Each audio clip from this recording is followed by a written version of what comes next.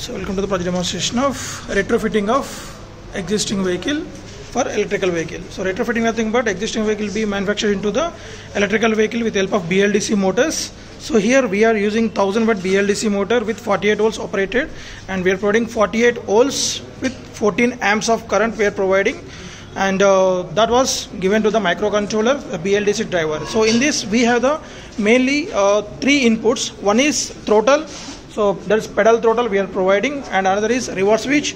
So here we can see that. So this is the reverse. Reverse reverse matches. The vehicle will move in reverse direction and is a forward direction. And another input is like key. So this is the main on off switch key.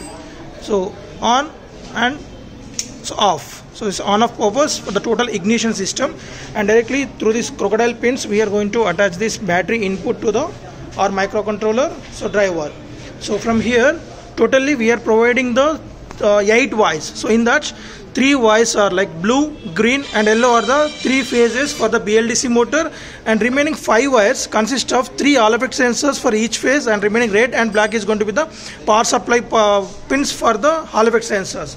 So there we have uh, used the BLDC motor connected into the universal shaft gear the differential gear shaft through the universal shaft. So there we can see the universal shaft is connected to the BLDC motor through the helical gear. The helical gear ratio is going to be our uh, BLDC motor shaft gear is 25 uh, teeth and we use the 250 teeth for the bigger gear. That's a helical gear mechanism. And uh, directly from here to the BLDC like a motor the helical gear to the universal joint and differential gear. So the transmission is occurring like BLDC motor to the helical gear, helical gear to universal joint and from there to the differential gear that is attached to the back wheels and here we are using the oil braking system. Right. So the battery is charging with the help of solar panels. So we are connected. 12 volts solar panels are in uh, series with 4 uh, 4 panels. So that we'll get 48 volts of 20 watts of power. So directly given through this charging circuits to the battery. And also battery can be recharged from the 230 volts input so we need to connect that to the 230 volts input and then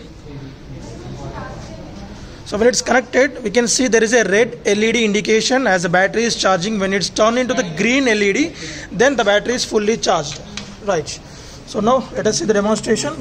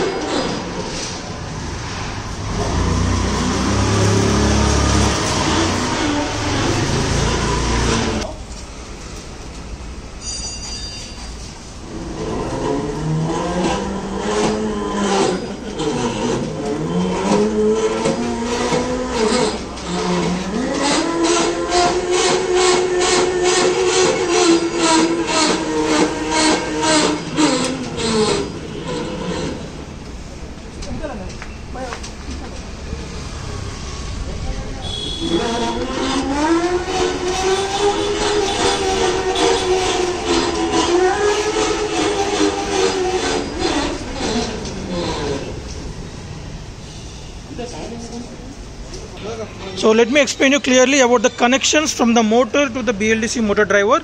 So we are providing 48 volts power supply to the BLDC motor driver.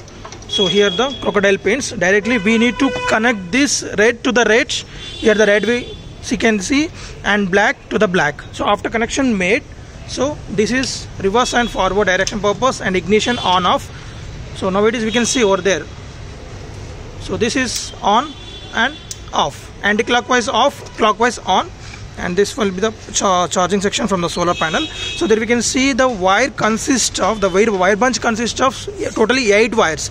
In that three phase yellow blue green are same phases attached to the microcontroller from the motor and these five wires are consist of plus minus red and black is going to be the minus plus power supply for the hall effect sensors inside the bldc motor and remaining are same. Each phase consists of each phase power supply wire and each phase hall effect sensor wire connection uh, connection made.